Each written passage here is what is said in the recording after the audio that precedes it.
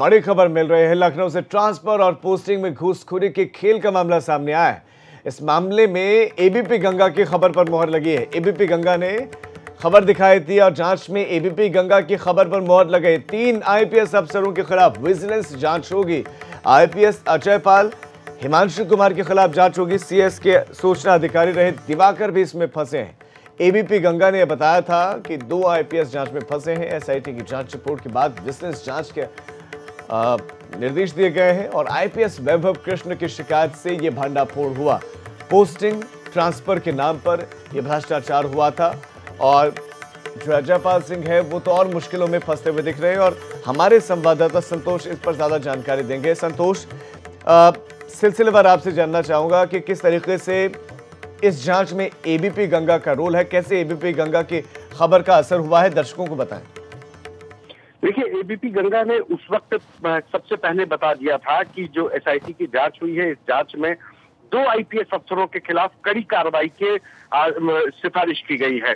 ये दो आईपीएस अफसर थे अजय पाल शर्मा और हिमांशु कुमार। इनके खिलाफ विजिलेंस जाँच के गृह विभाग ने आदेश दे दिए हैं।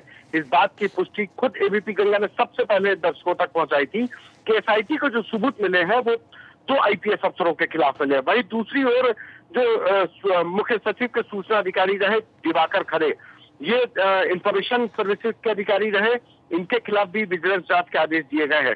तो जो पाँच आईपीएस अफसरों के खिलाफ एसआईटी गठित की गई थी, उसमें दो आईपीएस अफसरों पर कार्रवाई की जो संस्तुति की गई थी, उसके बाद अजय पाल शर्मा और हिमांशु कुमार के साथ दिवाकर खरे के खिलाफ विजिलेंस जाँच शुरू कर दी गई है। ये सबसे पहले एबीपी गंगा ने अपने दर्शकों तक पहुंचाई थी और उसी पर मोहर लगी है एबीपी गंगा की खबर पर कि जिन दो आईपीएस अफसरों के खिलाफ विजिलेंस जाँच हुई है, उसमें अजयपाल शर्मा के साथ हिमांशु कुमार का नाम भी शामिल है। संतोष अब सभी के जहन में सवाल ये उठ रहा है कि इतने गंभीर इन लोगों पर आरोप लगे उसके बाद एसआईटी की जाँच भी हुई और आ, इनकी संलिप्तता इसमें पाए गए हैं भ्रष्टाचार में लिप्त भी पाए गए हैं। लेकिन इनकी गिरफ्तारी के लिए क्या होगा? इनकी गिरफ्तारी का क्या प्रक्रिया? क्या आम आदमी की जो प्रक्रिया गिरफ्तारी की क्या वही प्रक्रिया इनके साथ अपनाई जाएगी या दूसरी और गिरफ्तारी कब होगी? देखिए पुलिस रेगुलेशन एक्ट के तहत ये चूँकि आईपीएस अफसर है भारत सरकार के मुलाजिम हैं। लिहाजा इनके लिए, कार्रवाई के लिए तमाम ऐसे नियम कायदे बनाए गए हैं। इनके ऊपर जो एसआईटी ने जो जाँच की थी, उसमें इस बात की जाँच की गई थी कि जो नोएडा के एसएसपी वैभव कृष्ण जो आरोप लगाए कि ट्रांसफ़र पोस्टिंग के नाम पर घूसखोरी हो रही है, थानेदारों की पोस्टिंग में घूसखोरी हो रही है, और इवन इन आईपीएस अफसरों ने अपनी पोस्टिंग के लिए भी पैसा दिया। ये आरोप लगाए थे। वैभव कृष्ण ने इसके खिलाफ जो अपने आरोप थे, उनके पक्ष में सबूत दिए एसआईटी को एसआईटी में आईजी एसटीएफ अमिताभ यस ने जाँच की, जो सबूत दिए गए थे, जो कॉल रिकॉर्डिंग दी गई थी, जो कुछ व्हाट्सएप चैट दिए गए थे, कुछ परिस्थिति जन्य साक्ष्य थे, वो जो जो दिए गए थे तो इन तमाम सबूतों के आधार पर एसआईटी ने अपनी रिपोर्ट शासन को सौंपी थी। उस एसआईटी की रिपोर्ट के आधार पर शासन ने ये एसआईटी की जाँच इसीलिए दी थी कि इस पूरे मामले में जो आरोपी आईपीएस अफसर है, इनका भी पक्ष जान लिया जाए।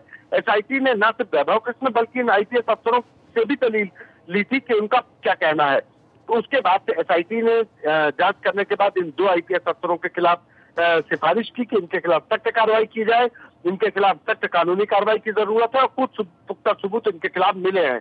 जिस बात की सिफारिश करने के बाद शासन ने अब इन दो आईपीएस अफसरों के साथ साथ मुख्य सचिव के सूचना अधिकारी रहे दिवाकर खरे के खिलाफ संतोष चूँकि जैसे कि आपने खुद ही जानकारी दी है कि एक प्रक्रिया के तहत इनकी गिरफ्तारी हो सकती है तो क्या वो गिरफ्तारी की प्रक्रिया शुरू हो रही है या अब होगी? देखिए, अभी एफआईआर हुई हुई है अजयपाल शर्मा के ऊपर। उनकी जो कथित पत्नी है, उसने लिखाई है। हजरतगंज कोतवाली में एफआईआर हुई है। विजिलेंस जाँच पैरल में दूसरी तरफ़ चलेगी, जिसमें विजिलेंस जाँच में अजय पाल शर्मा के साथ हिमांशु कुमार और दिवाकर खड़े। ये तीन लोग फंसे हैं। विजिलेंस इस पूरे मामले में जाँच करने के बाद एफआईआर करेगी, एफआईआर पहले कराएगी। ये विजिलेंस की अपनी जाँच की प्रक्रिया पर निर्भर करता है। विजिलेंस जब जाँच करने की उसके बाद से इनके ऊपर कार्रवाई का दौर शुरू होगा। लेकिन कहीं ना कहीं इसमें वक्त ज़रूर लग सकता है, लेकिन कार्रवाई का दौर शुरुआत ज़रूर हो गई है। कि कार्रवाई आज नहीं तो कल होगी ज़रूर, क्योंकि विजिलेंस जाँच हो रही है। इधर लखनऊ पुलिस अब हजरतगंज कोतवाली में जो दर्ज एफ़ आई आर हुई है, उसमें भी जाँच करेगी। तो कहीं ना कहीं इस पूरे मामले में अब जाँच का दौर शुरू हो गया है, क्योंकि अजयपाल शर्मा के खिलाफ अभी तक कोई जाँच नहीं हो रही थी। ये मुझे भी याद है कि दो से तीन साल पहले तक तमाम ऐसी महिलाएँ दीप्ति शर्मा के अलावा दो तीन महिलाएँ तत्कालीन डीजीपी ओपी सिंह से मिली थी और इस तरीके की लिखित शिकायत उन्होंने की थी। वकील दीप्ति शर्मा खुद भी सुप्रीम कोर्ट की लॉयर है। इसके अलावा एक अन्य वकील ने भी लिखित तौर पर रजिस्टर्ड ईमेल किया था डीजीपी को किस तरीके से हो रहा है, उसके बावजूद कोई कार्रवाई नहीं की गई। लेकिन अब अजय पाल शर्मा के खिलाफ कार्रवाई का दौर शुरू हुआ है और अजय पाल शर्मा के खिलाफ विजिलेंस जाँच के साथ साथ लखनऊ के हज़रत कोतवाली में एफआईआर दर्ज हुई है। जी। जी, संतोष, आपका इस तमाम जानकारी के लिए धन्यवाद। तो हमने उन दोनों ही अधिकारियों की तस्वीरें आपके सामने रखी हैं, हिमांशु की और अजय पाल की।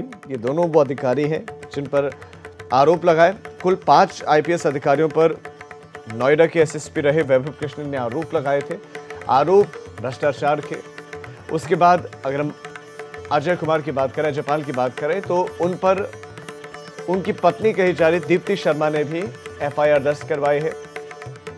सबूतों को मिटाने, इसके साथ साथ दूसरे कई आरोप उन पर लगाए गए हैं।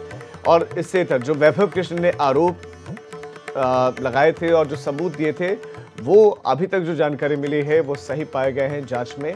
और विजिलेंस की जाँच इनके खिलाफ शुरू हो गई है। अब ये विजिलेंस के जो अधिकारी हैं, उन पर निर्भर करता है कि एफआईआर पहले करवाएँगे या जाँच खत्म होने के बाद या जाँच पूरी होने के बाद एफआईआर दर्ज करवाएँगे।